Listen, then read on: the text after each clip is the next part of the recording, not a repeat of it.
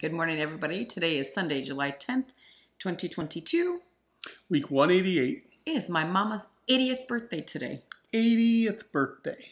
Amazing. I know, right? Yeah. It's so crazy. Pretty cool, pretty cool. I got to talk to her. She's in Canada, so I don't get to go see her, but um, I got to talk to her this morning, and it's Sunday. It's very rare. I don't remember, other than being on vacation. I actually have the day off today, Well, she says off, but she's not off because she'll be doing the other job too. just on Monday. Okay.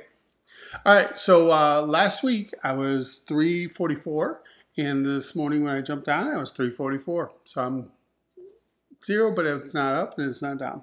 Even Stephen. Yeah. And Didn't have the greatest week. Uh, a couple of the days I did not sleep a minute, and I try.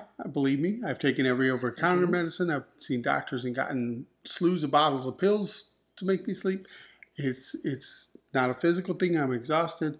It's all in my brain. I'm mentally just can't stop my brain from racing. It's just the way I've always been. I've always been that way. I have bad spells, and then I have other times where I'm doing good. yep. No coffee, no electronics or TV, laying down, closing my eyes, not with able the to sleep. CPAP on. I'm doing what I'm supposed to be doing, but I'm not sleeping, unfortunately. and I'm trying to rub his back or touch his head until I fall asleep. No, that's fine. All right, where you at, babe? Um, last week I was 161. This morning I was 161. So I guess we're even Steven this week, which I Yeah. guess is better than going up. You know, it's weird. Is last week I uh, dropped four, and I don't feel like I did anything different or like Right. off or you know, just it's weird the way your bodies work sometimes. Mhm. am trying to still stick towards that carnivore side of things. Um, you know, just to see if it makes a difference for me. Yeah. um, kind of cut out some of the vegetables and the things I would normally have in a regular week to see if I can get it more just to the lean meats and stuff.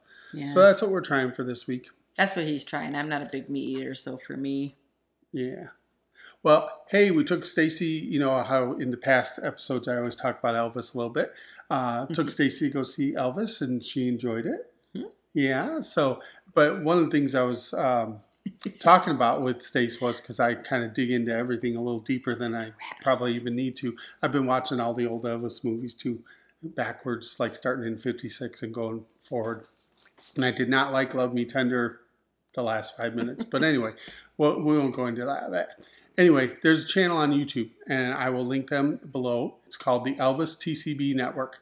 And these two girls, Shawna and Rhonda, they talk a lot about Elvis history, and they also, on Fridays, they do Elvis history.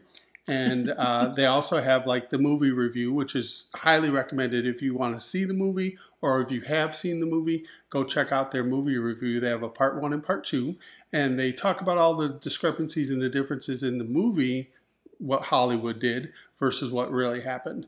And some of them are pretty big. So, you know, I won't ruin it for you if you hadn't seen the movie Yeah. or if you're just interested in what Hollywood did versus the reality of it. I'd highly recommend those videos.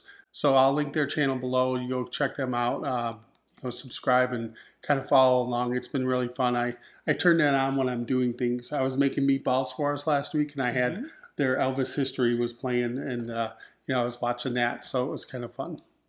Yep. Yeah, I'm gonna show I haven't watched any of that yet, but I'm gonna show Stacey the one on the movie reviews, so she can kind of see what was like real and not real, and Hollywood not real.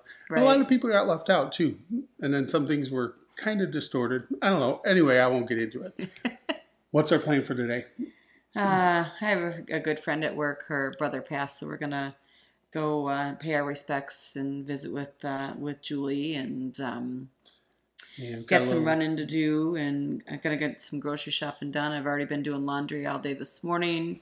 We were sorting through old pictures, which is one of the things Bill started, and uh, he uh, wow, Found some very old pictures. I mean, very old, 20, 30 years old pictures. Pictures from our wedding yeah, And then you start going through those, and you know, our wedding was almost 30 years ago. So you start realizing how many of those people are unfortunately passed. You know, so it's nice to see the pictures of everybody. But yeah, I recently lost my uncle. A couple months earlier, I lost my his wife, my aunt, yeah. and uh, yeah, it's just it's just one of the sucky parts about getting older. Do a lot more funerals than you do weddings.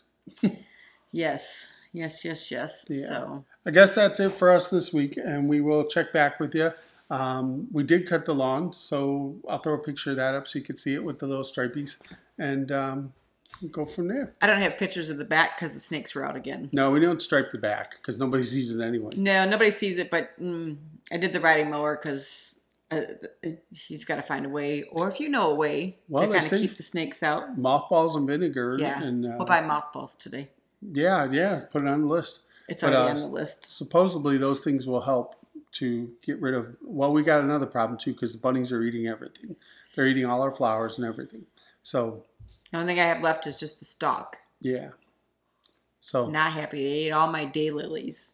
They didn't eat the begonias and they didn't eat the petunias, but they sure did eat all of my daylilies. every single all one, of them, and all the wildflowers in the back. and all my wildflowers. Yep.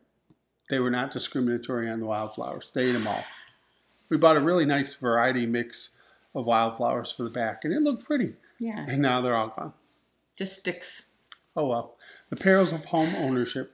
If that's the only problem we have, then, Then we're I'll, doing good. I'll be happy, but I'm not happy. But All right, everybody. You have a great week, and uh, we will stick to what we're doing. And uh, I have been doing more meal prepping and making Yeah. foods and stuff.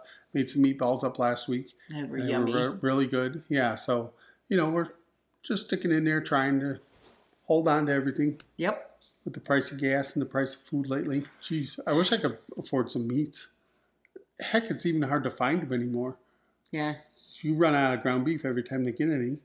Yeah, by the end of my shift, if I want to get ground beef, I have to get it when I first get there and put it in the fridge because otherwise, by the end of the night, there's nothing left. Yeah. All right. Well, hope everybody's doing well. And like I said, we'll talk to you next week. Sounds good. See you later. Bye. Bye.